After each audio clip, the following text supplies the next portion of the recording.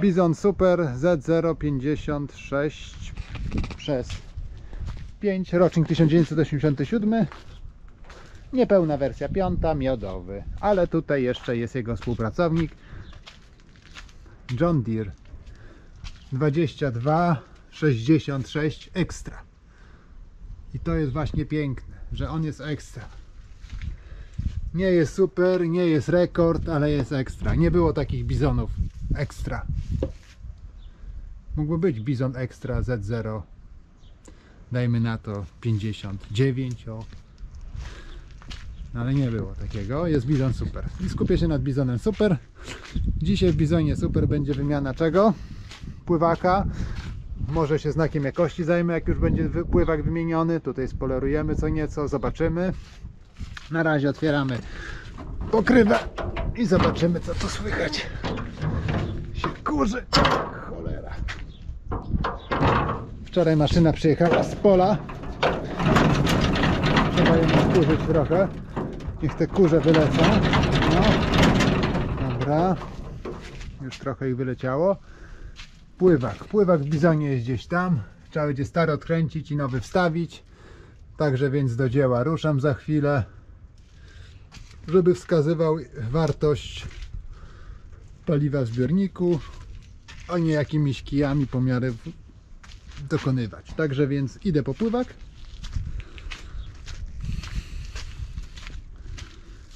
Pływak do bizona. Gdzie on tu jest? Gdzieś na hali leżał. O, jest elegancki.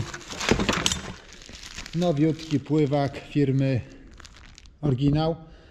To jest KMGY, czyli to jest to jest oryginalny węgierski pływak.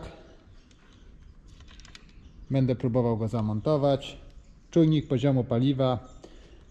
Super sprawa. Także więc idę stary, wymontuję i wstawię nowy. John Deere Extra i Bison Super. Wszystko jest eleganckie. Ekstra i super.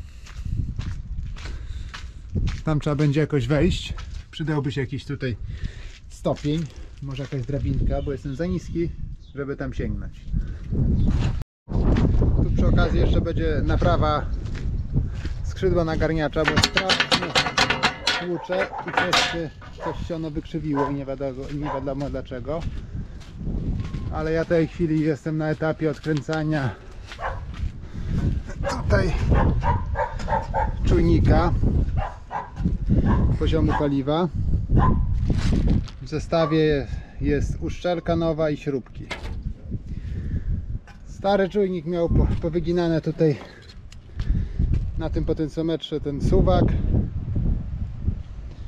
I teraz tutaj jest tak. Zacisk M i zacisk K. Zacisk K to jest zacisk od kontrolki, zacisk M to jest zacisk od poziomu i ten nas będzie interesować. No jeszcze jest 31 masa, też trzeba będzie podłączyć. Tutaj wyciągnąłem filtr, filtr powietrza dla ułatwienia odkręciłem. Bo ciężko było tu podejść, tak to chociaż jest jak podejść. Pogoda nastała istnie jesienna, co chwilę pada deszcz. Chmury chodzą czarne po niebie, ale kombajn trzeba szykować. Tutaj są kontrolki, jedna, drugiej nie ma, trzecia, wypłowiałe. Będę chciał je zrobić. Tu będzie do koguta, tu będzie zapchany, zapchane klawisze, a tu zrobię rezerwę. Mam tu przygotowane trzy, trzy nowe kontrolki. O takie ładne. Będę je montował i spróbuję uruchomić, żeby tak było jak ja chcę. Zamyślę. Ale póki co zaczyna padać, także więc czekamy na, na pogodę i wtedy dopiero się tym zajmę.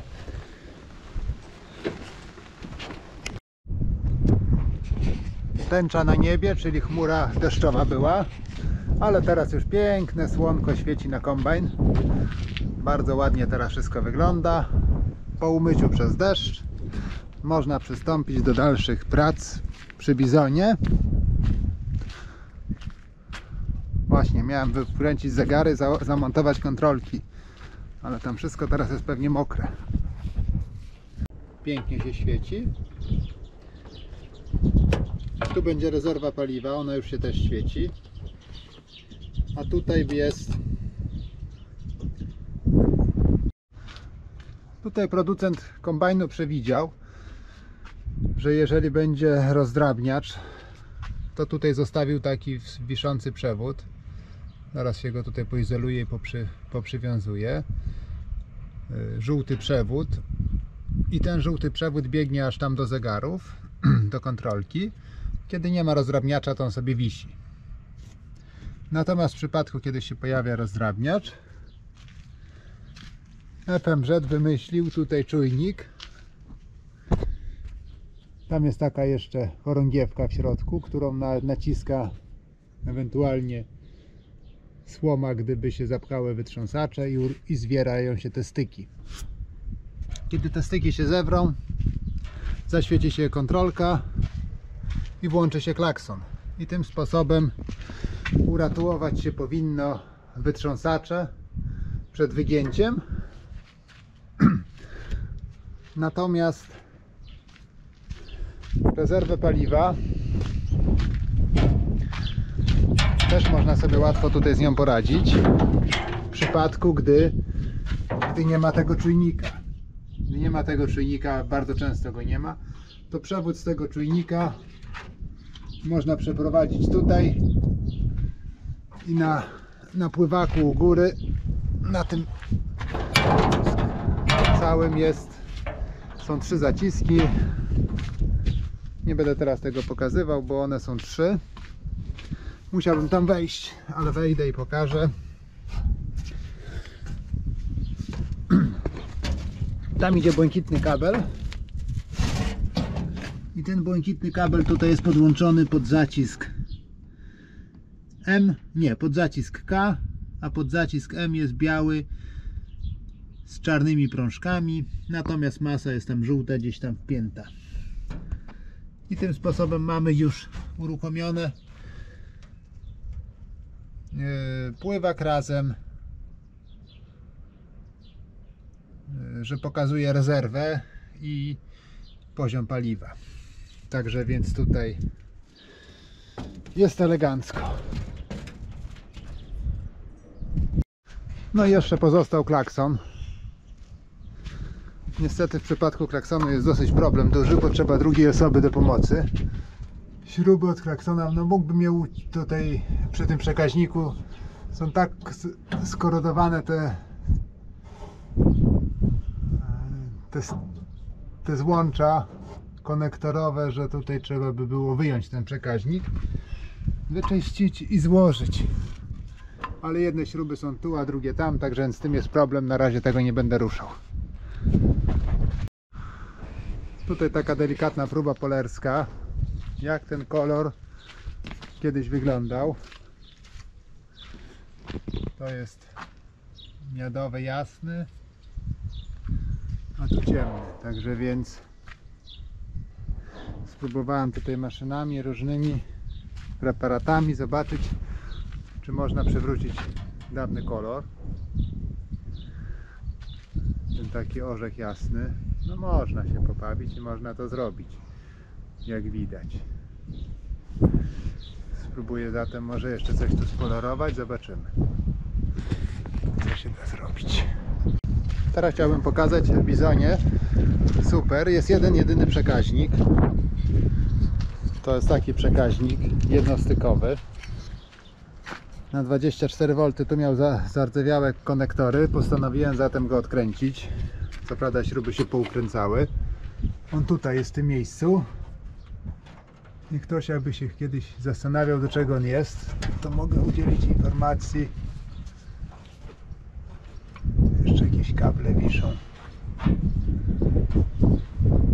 Że to jest przekaźnik od włączania właśnie klaksonu podczas kiedy jest jakaś awaria w kombajnie, brak ciśnienia oleju, zapchane wytrząsacze lub sprzęgło przeciążeniowe jak się uruchomi.